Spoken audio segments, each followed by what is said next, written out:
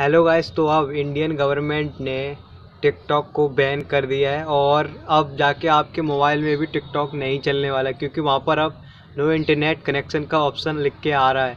तो अब आपका डाटा जो भी था, उसमें वीडियो वगैरह अब सब चले गए, आपका कुछ नहीं चलने वाला। तो बहुत दुखद सूचना है, जो लोग टिकटॉक पे वीडियो बनाते थे उनके लिए, और जिसके पास टैलेंट है, उसको तो कोई दिक्कत ही नहीं है।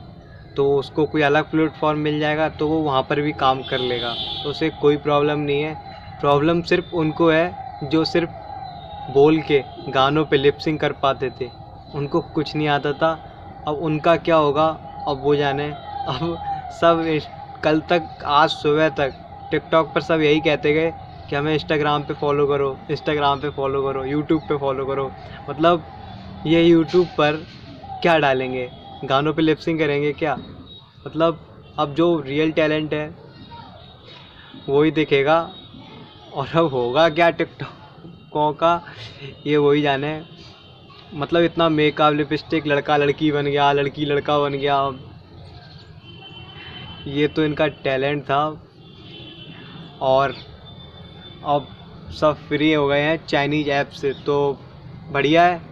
आप लोग भी टिकटॉक को अपने मोबाइल से हटा दो, अगर नहीं हटाया है तो मैंने तो हटा दिया। आप लोग भी हटा दो और अब रियल कंटेंट को, जो रियल क्रिएटर हैं, उनको फॉलो करो।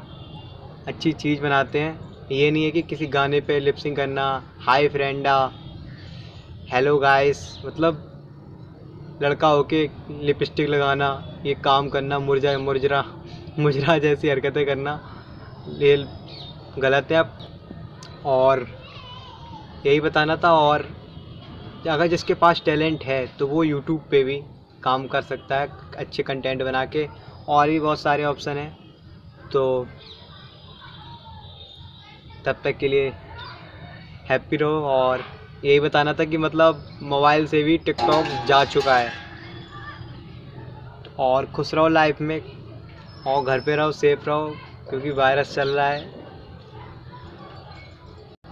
और कमेंट में ज़रूर बताना कि आपके मोबाइल से अनस्टैल हुआ कि नहीं हुआ टिकटॉक